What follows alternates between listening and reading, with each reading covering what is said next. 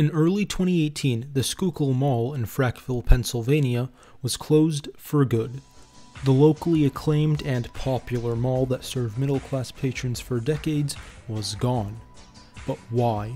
Why did the Schuylkill Mall die out over time? That's what we're going to be looking at tonight on this week's episode of Nostalgia Malls.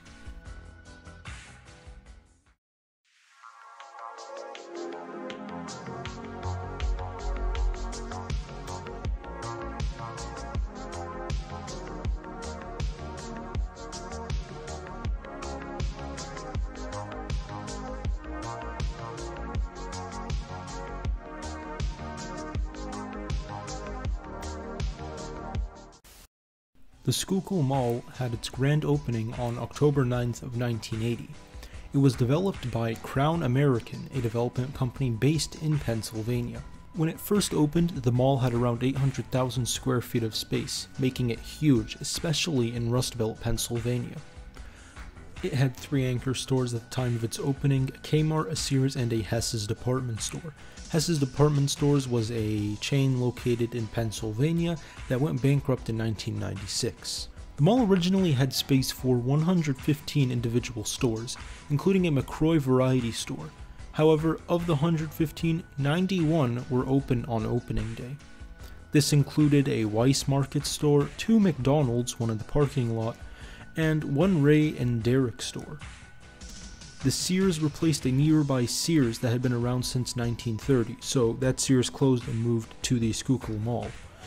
Which shows just how massive and popular this mall was. The new Sears was three times the original one's size. At that time, there was also a Regal theater in the mall, which was pretty massive, but wouldn't see renovations until 2010.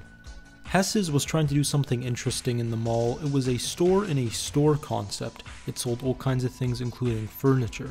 It's an interesting idea, and I'm pretty sure I've seen it before on the channel in my Kmart video. It was a thing back then, and to see it used in this mall sort of shows the scale that this mall was popular around its opening time, because this was sort of a new, not very common idea. The Kmart there was also special compared to other ones as it had a home improvement section, which was not very common. They considered a J.C. Penney to be opened as a mall anchor, but it never went through. In 1983, Pomeroy's located from the old Sears location as well to the mall. It became the fourth anchor. And then a year later, Bon-Ton bought Pomeroy's, so now it was a Bon-Ton store. Throughout the 80s and the 90s, the mall was the hit of the area.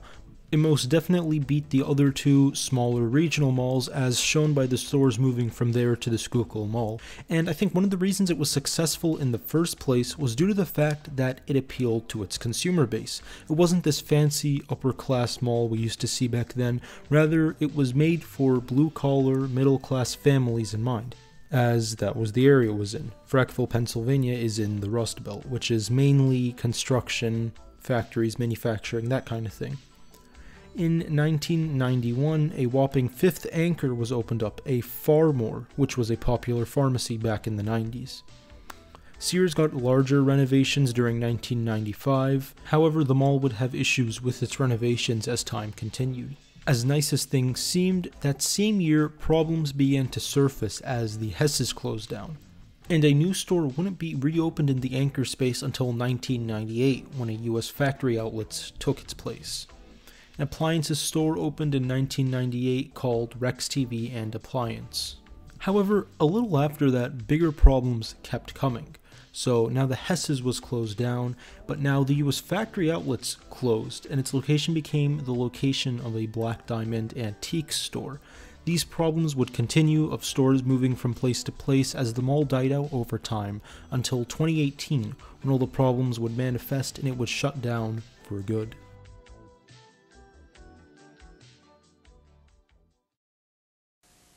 The Schuylkill Mall is better than ever. No matter what you're shopping for, you'll be sure to find it. With over 90 plus stores, including Kmart, Hess's and Bon-Ton, Phar-Mor, and more. Just a short drive for your one-stop shopping trip. It's better than ever at the Schuylkill Mall. The Schuylkill Mall, we're better than ever. We're better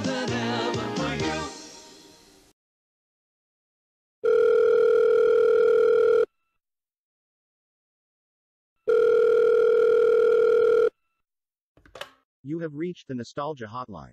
A representative will be with you shortly. We thank you for your patience.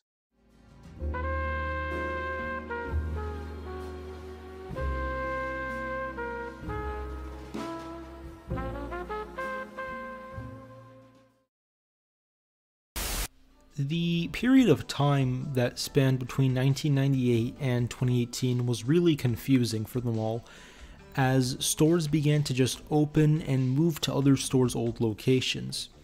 As stated earlier, just after an appliances store opened in 1998, a US factory outlets was then closed, became the location of a Black Diamond Antiques store. Bigger problems started to arise, and in 2007, the mall was sold to a company known as Empire Reality. The Hess's location became the location of a Steve and Barry's in 2007, however, that company would go out of business in 2009. In that same year, the mall Chick fil A also closed down. The old Steve and Barry's space was converted into a famous labels clothing store. However, that also closed two years later. In 2011, Dunham Sports signed a lease to open a mall store on the old Phar-Mor site. The Black Diamond, which had opened there, then moved to the Hess's former place, and in 2012, the Dunham opened.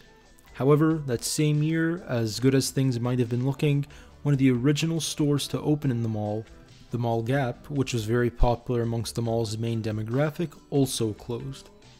One of the big reasons the mall died out over time, sort of its main issue, was its lack of attention.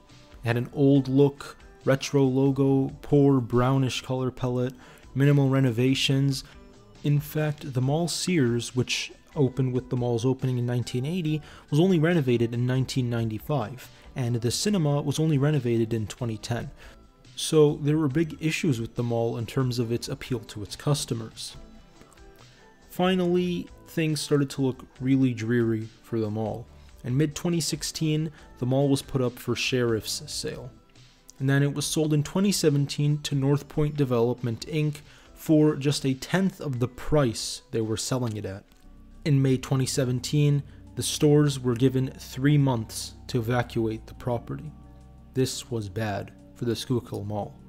The only thing left by January 2018 was the theater, which was at one point a Regal theater. However, in 2010 to 2013, as I said, it underwent major renovations after it was purchased and converted to a King Theater circuit. Finally, the end would be spelled for the Schuylkill Mall.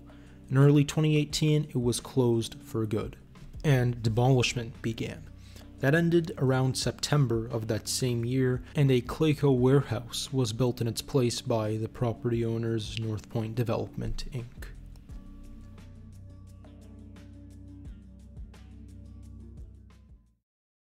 The new front-wheel drive Hyundai Excel was designed by the same man who designed this Maserati but they are a little different. The Excel has room for three more passengers. It's more economical, and it costs about $40,000 less. Of course, the Hyundai Excel doesn't go quite as fast as the Maserati, but in the long run, that may save you even more money. Hyundai, cars that make sense.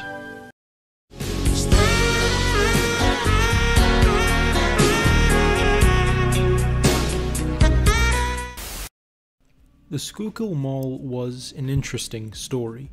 It gained popularity for a number of years, however, as soon as the mid 90s rolled in, it just kind of died over time. There doesn't seem to be a defined reason. Add to it, some of the mall's popular stores, like an Auntie Anne's Pretzels, never even left for the reason of sales. There also isn't any massive socioeconomic shift to blame either, like with most cases of a dying mall. My personal theory is simply that the mall lost its popularity over time. I think this makes sense as the latter 2010s were an era that saw massive advances in social norms, including online shopping. Add to it, the mall was old and clearly lacked updates and renovations. Finally, the area in which it sprung was not the most financially active region to begin with, which would make sense that the mall would just kind of lose its popularity. I think with all of these factors considered, it is still a tad bit confusing, but the malls dying out over the years makes somewhat more sense. It is still sad to see them all go, however, I think it's just a thing of fate.